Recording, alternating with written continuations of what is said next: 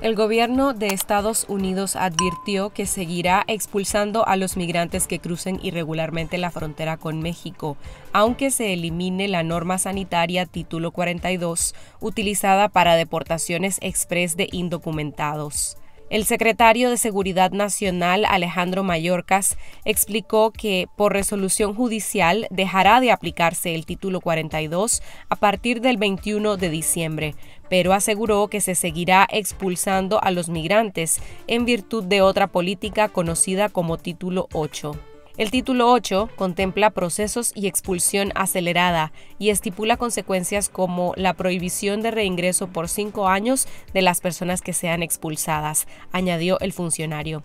Más de 147 mil encuentros o detenciones de nicaragüenses fueron registrados entre enero y octubre de este año por la patrulla fronteriza de Estados Unidos, cifra récord que supera a los más de 87 mil connacionales que se entregaron a las autoridades en 2021. El Ministerio Público acusó a los periodistas de la diócesis de Matagalpa, Manuel Obando y Wilberto Artola, declarando como víctimas al Estado de Nicaragua y la sociedad nicaragüense, pero sin precisar el delito. Obando es jefe de medios de la diócesis de Matagalpa, y Artola, periodista del canal digital TV Merced de esa misma diócesis, a cargo del obispo Rolando Álvarez, preso político del régimen orteguista acusado esta semana. El obispo fue acusado por los delitos fabricados de conspiración para cometer menoscabo contra la soberanía nacional y ciberdelitos. Los periodistas fueron arrestados la noche del domingo pasado en Matagalpa.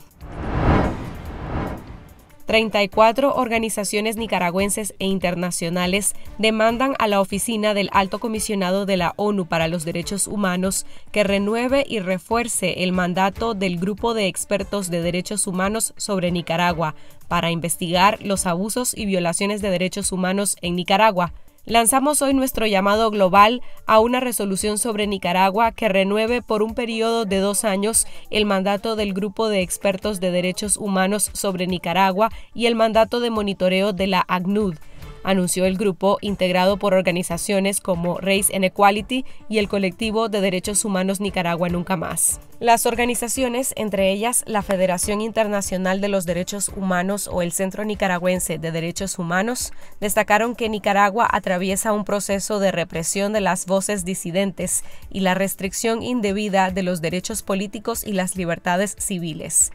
El llamado fue divulgado durante la evaluación del Consejo de Derechos Humanos de las Naciones Unidas sobre la situación de Nicaragua, celebrado este 15 de diciembre de forma virtual. El alto comisionado de las Naciones Unidas para los Derechos Humanos, Volker Turk, presentó un informe que documenta las 225 detenciones arbitrarias en Nicaragua ordenadas por el régimen de Daniel Ortega y Rosario Murillo. En una sesión especial del Consejo de Derechos Humanos de la ONU sobre Nicaragua, el alto comisionado austríaco pidió al régimen de Daniel Ortega la liberación inmediata de todos estos detenidos. Turk lamentó que el gobierno de Nicaragua se haya negado a cooperar con las distintas instancias de Naciones Unidas en materia de derechos humanos durante este año.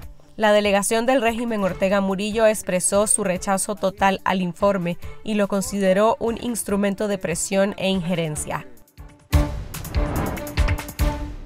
En nuestro canal de YouTube Confidencial Nica les recomendamos la más reciente edición de la caricatura animada y comentada de PX Molina, titulada La Ruleta Nica.